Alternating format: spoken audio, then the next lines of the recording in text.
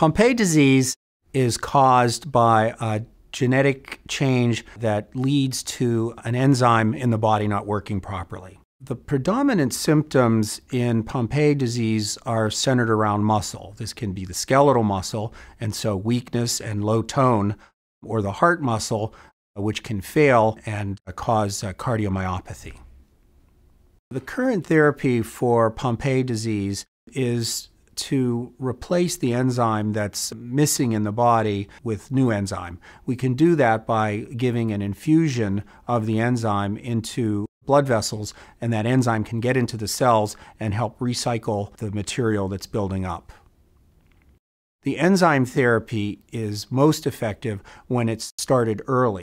Here at the Center for Rare Disease Therapy, we have a team approach that allows us to diagnose this disease very quickly and institute therapy in a multidisciplinary fashion. We can do that in a way that is effective and comfortable for families and patients.